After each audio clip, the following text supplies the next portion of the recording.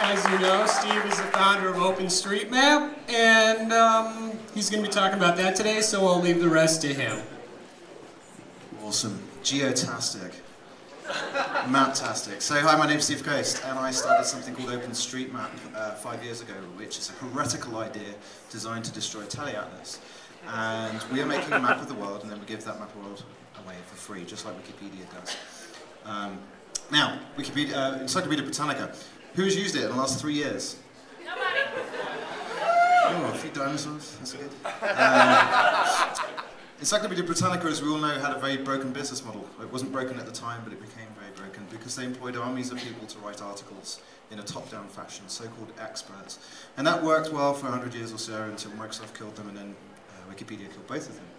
Uh, um, yeah, timing. Timing is everything.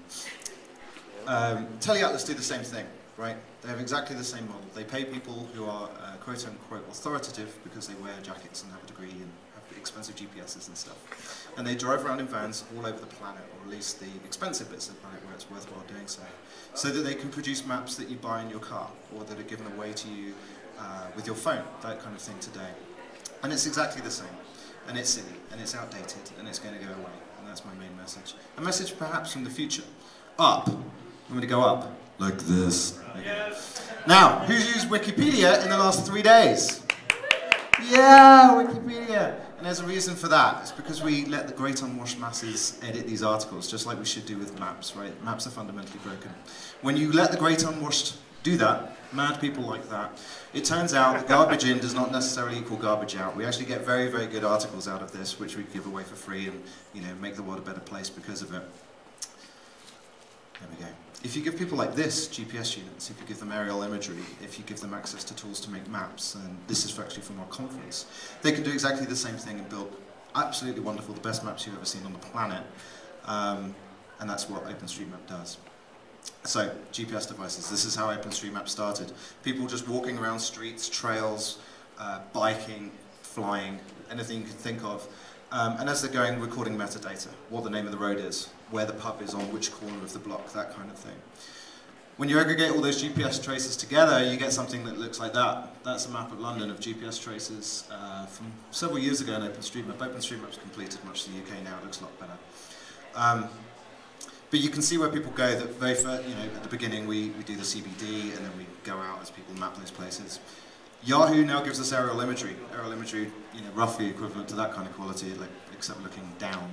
Um, you can draw buildings with that. You can draw trees. You can draw coastlines and all the other things that we couldn't collect with GPS traces. And then you end up with maps that look like this. Um, this is Boulder, and I gave this talk on Tuesday there. Uh, you can see that the map's brilliant. You've got footpaths, buildings, uh, park lots, parks, freeways. But of course, it's not just in Boulder, it's also in Berlin. Germany is our best mapped country. Um, it's basically complete, different depending on your definition of complete, um, right down to addressing in lots and lots of places. Um, Germany is also the number one uh, set of articles in Wikipedia. But of course, we're not just in nice rich countries like America and Germany, we're also in Baghdad. OpenStreetMap is the best online available map of Baghdad that you will find anywhere. There are no other alternatives. Congratulations, OpenStreetMap. That is also the case in Amsterdam. Uh, AND, the third largest map supplier behind TeleAtlas and Navteq, gave us the entire Netherlands for free to import into OpenStreetMap several years ago. And we've been improving that data to the point where they don't recognize it anymore because our map data is that good. You can see the difference when we import Tiger data, free Census Bureau data, free as in public domain, and then we let people work on it. This is Lake Merritt in uh, San Francisco Bay Area, uh, in Oakland. You can see that we fix everything. Look, freeways, parks, stuff. And of course, disaster zones. Um, this idea is equally applicable anywhere in the world, and it's also the best way to uh, make maps where you you know, don't have any infrastructure whatsoever.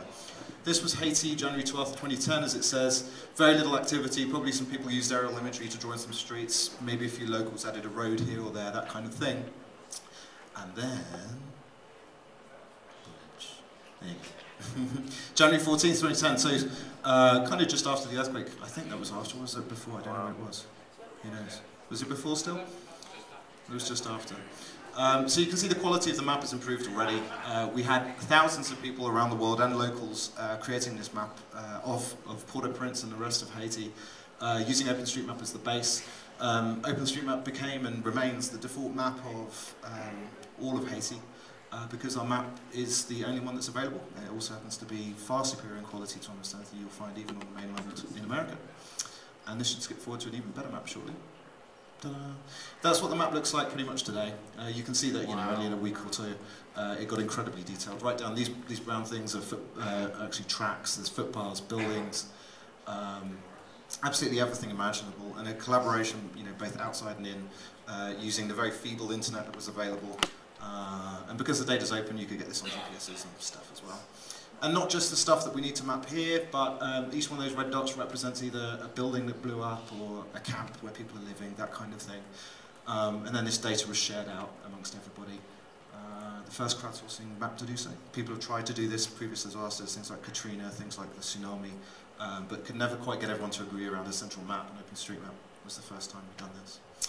Uh, the thought I want to leave you with is that this data was open and so on, so people could get it on GPSs, including survey teams. And there's great quotes from uh, survey teams out there on our wiki saying that OpenStreetMap saved lives because we were able to get the data to them in a way that they'd never had before at any previous disaster. So, uh, bring on more disasters for OpenStreetMap.